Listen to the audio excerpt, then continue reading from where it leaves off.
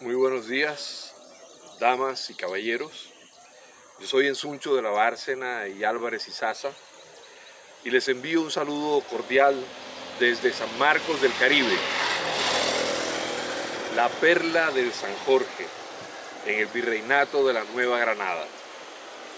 Desde este lado del mundo que también es España. Es un honor y un placer dirigirme a ustedes con el corazón y desde el corazón de la hispanidad, en el día de nuestra amada poeta Santa Teresa de Ávila. Este río que ven pasar fue llamado San Jorge por haber sido descubierto el 23 de abril de 1534 por don Alonso de Heredia, hermano del fundador de Cartagena de Indias, a la que amorosamente llamo Cartagena del Caribe. Como bien sabemos, San Jorge fue un soldado romano ejecutado por Diocleciano en Nicomedia a causa de su fe cristiana, por lo cual se le venera como mártir.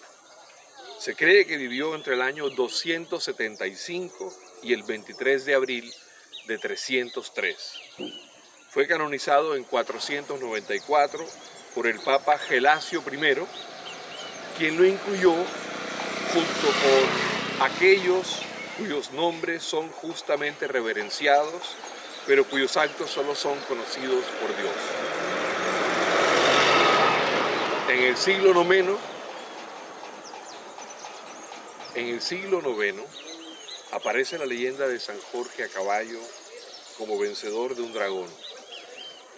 Esta historia, que es parte de la leyenda dorada, también es conocida como San Jorge y el Dragón, y es el probable origen de todos los cuentos de hadas sobre princesas y dragones en Occidente.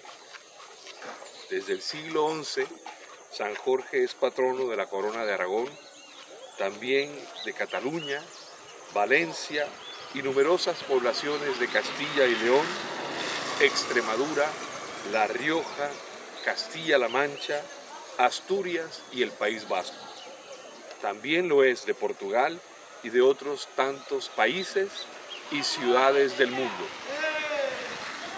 Los comienzos de San Marcos del Caribe, mi ciudad natal, fueron en el último cuarto del siglo XVII, cuando la corona se dio propiedad sobre este territorio a don Juan de Zabaleta y Heredia, capitán español asentado en la villa de Santa Cruz de Mompox.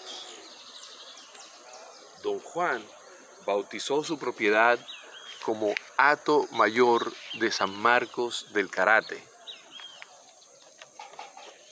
por un caño afluente del San Jorge que les voy a enseñar a continuación.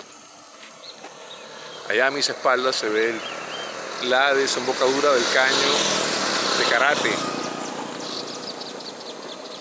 el suyo, el de don Juan, de Zabaleta y Heredia, fue un acto esclavista, pero se dice que al final de su vida, ocurrido a comienzos del siglo XVIII, don Juan dejó en libertad a sus esclavizados por testamento.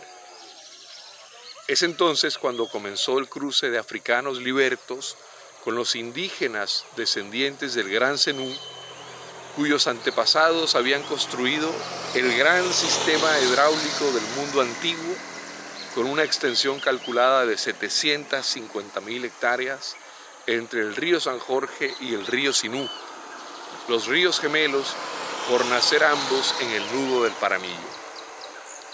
Me complace haberles enseñado algo de la historia de San Marcos del Caribe cuya población se calcula hoy en 70.000 habitantes y que es una ciudad próspera gracias al comercio, la ganadería, la agricultura y por supuesto la pesca. Hasta una próxima oportunidad, saludos cordiales y feliz día de Santa Teresa de Ávila, la santa a la que tuve el honor de visitar en su catedral y en su monasterio en el pasado verano. Un gran saludo para todos y bendiciones infinitas y que viva España.